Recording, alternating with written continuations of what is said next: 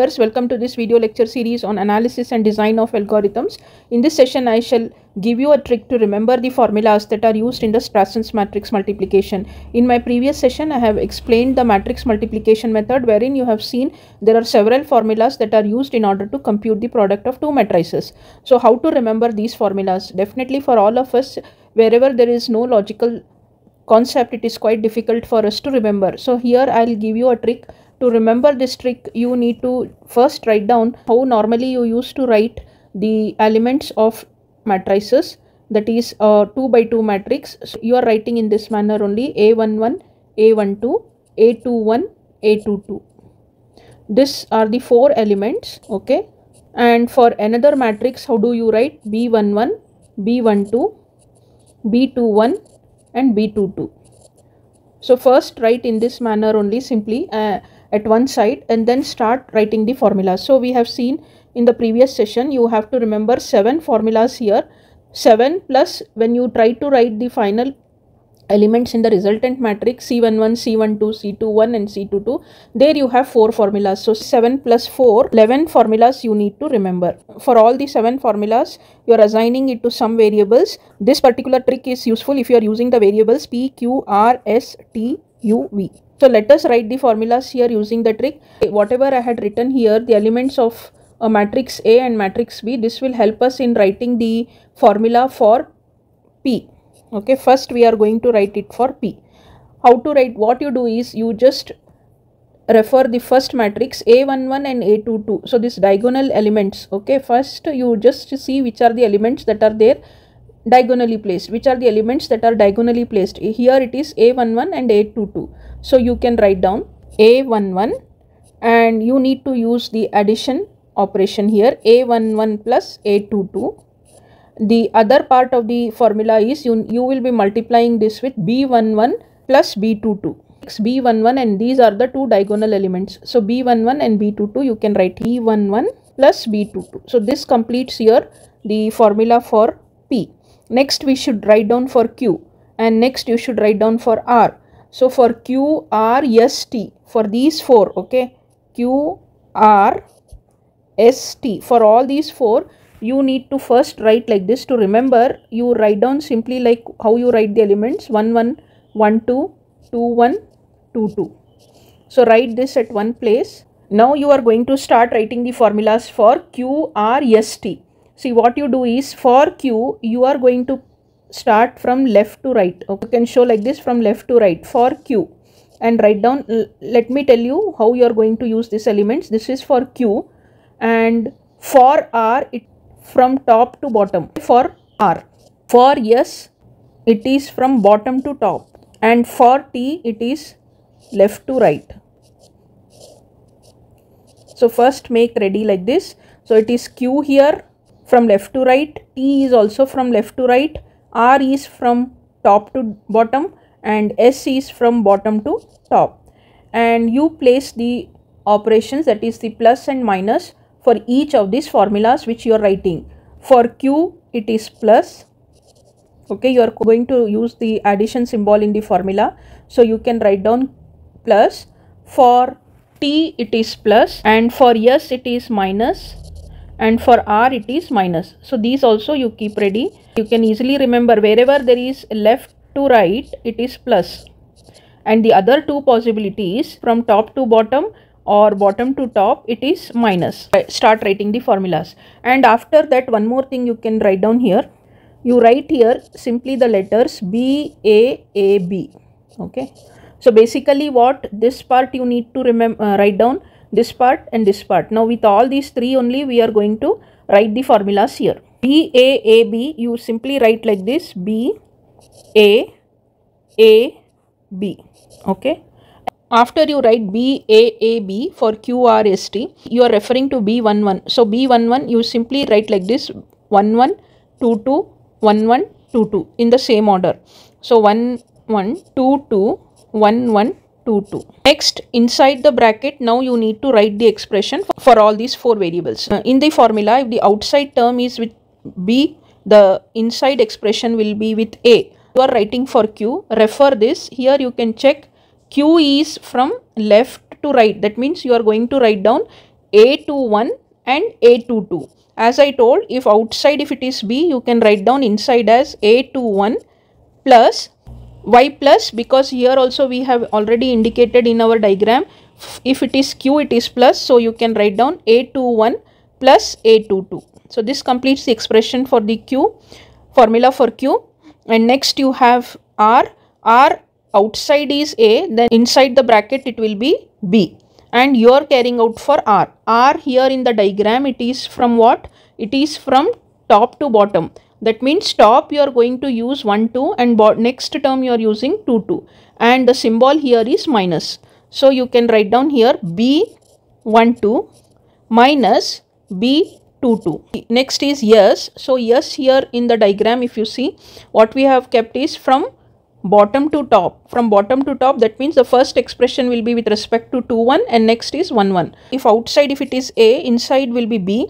B 2 1 and the symbol is minus here minus b11 next is t and here outside the bracket if it is with respect to b inside it will be with respect to a only. And what to use here? So t is from left to right 1 1 and 1 2 so 1 1 1 2 you are going to write it with respect to a because outside the bracket it is b. A 1 1 and the symbol to be used for t is plus. So plus a 1 2 so this way you have made ready the formulas for Q, R, S, T. Next is U and V. U will get constructed from S and T. Okay. U will get constructed from S and T. From S, inside the bracket expression is B21 minus B11. Now, in place of B, you replace with A when you are writing for U. So, it will be A21 minus A11. So, this part B21 and B11 whatever was there same thing you are going to now write it here but you're convert but you're replacing b with a a21 minus a11 here you have one more part in the formula. In this you have a11 and a12 the same thing you can write here but now you need to replace a with b. B11 plus b12 got it? This is why i told you u is getting constructed from s and t. You are borrowing from yes this b21 and b11 but replacing the letter b with a okay? And next expression you are borrowing from t and you are taking in place of a you are writing b. The last expression is v. Now v will get constructed from q and r. As you have constructed u from s and t v will get constructed from q and r. Q has got inside the bracket a21 plus a22 so you will be writing for v b21 plus b22 R has got B12 minus B22. So you will be writing A12. So this part I will show it neatly. From S and T you are writing the formula for and from Q and R you are writing the formula for V. And now finally you have the remaining four formulas wherein you are writing for C11, C12, C21 and C22. Now C11 if you remember the formula is like this P and C12 is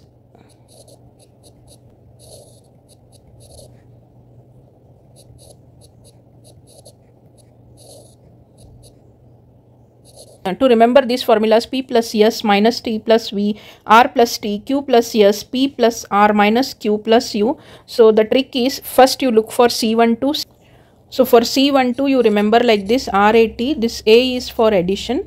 So you are simply writing here r plus t r plus t. So this one is for c12 and below that you have q and s for c21 so remember this will be more easy for you to remember. You have the previous expression r plus t. Before r the alphabet is q.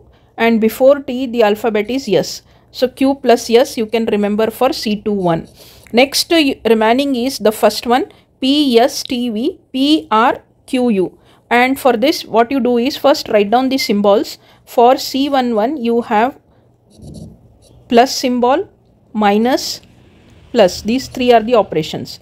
For c22 you have the plus minus plus. At least this is easy for us to remember. You can check here. Plus minus plus. Leave one gap here. So you are writing for c11 and c22 plus C11 equal to, you have to fill the letters here. Now write down the letters from the left side onwards. So write the letters like this. From the left side, we V, T, S, P. So why I wrote from the left side is for, for V I am just using V stands for your value, value T time, value time to become what? Successful, P powerful.